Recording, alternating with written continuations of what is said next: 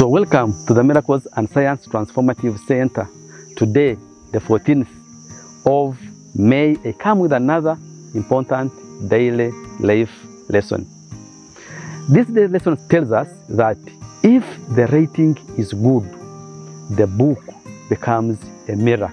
I know you who is watching this daily life lesson, you may have read a book or heard someone reading a book.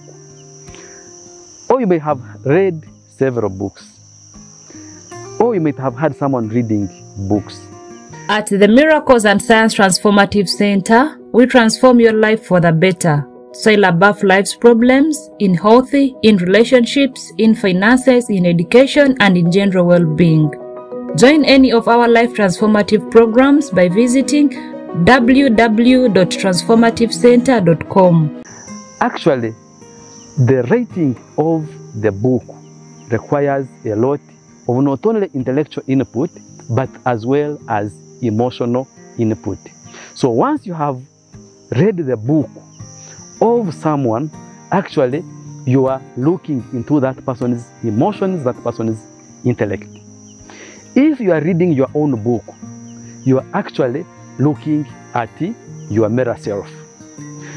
This day lesson tells us that once you commit to write a book or you commit to read a book, you are actually looking at the person the directly who has written the book.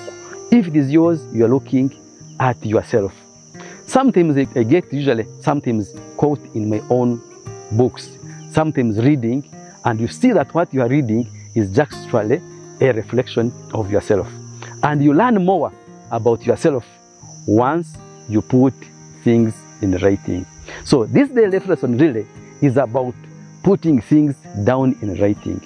Cultivate the habit of writing something.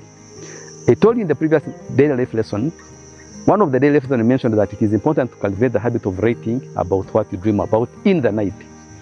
Also, you can be able to write about your day.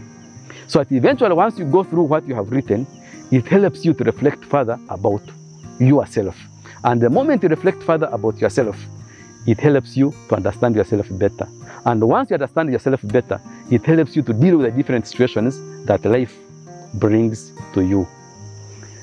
Whether you like reading or not, it is important to have some time, get a pencil and a pen, a paper, and note down some of the things that you encounter in life.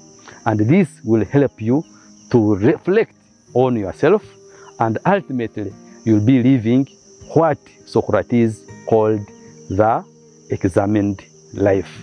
And this has been a reflection for today and thank you for watching.